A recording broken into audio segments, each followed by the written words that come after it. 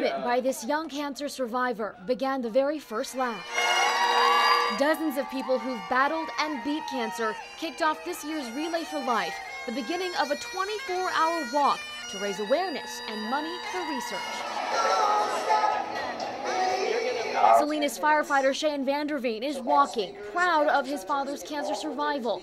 He set his goals high. I'm, I'm trying to walk the entire 24 hours and I hope to cover 40 miles in that time. As usual, Relay for Life features a lot of fun things live music, great food, barbecue, desserts, and also for the first time ever, bra pong. So Melissa here is going to show us how it works. It was a new idea. We needed something different, something loud and fun that was going to get a lot of attention and hopefully raise a lot of money. Who we lost will be five years ago in September. We lost to lung cancer.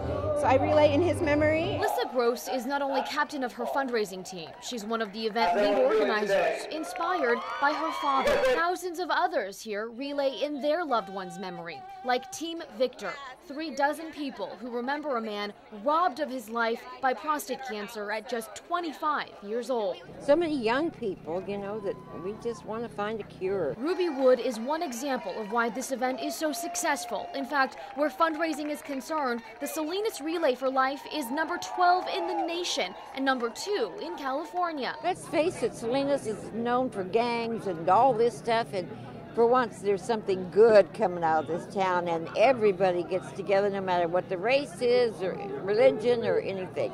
We're all together on this. In Salinas, Stephanie Trong, KSBW, Action News 8.